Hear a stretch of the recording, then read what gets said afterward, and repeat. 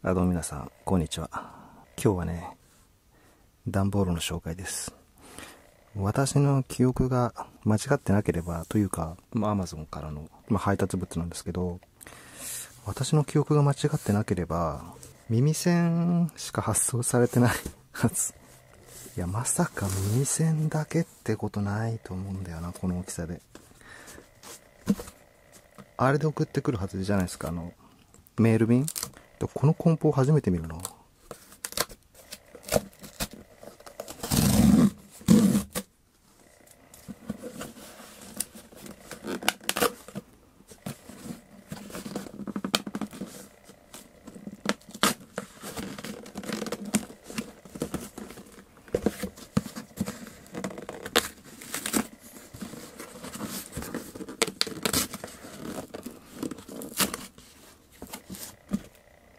嘘。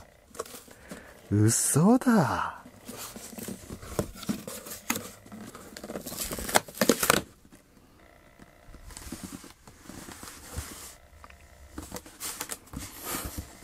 マジか。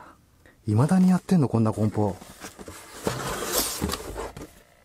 信じられん。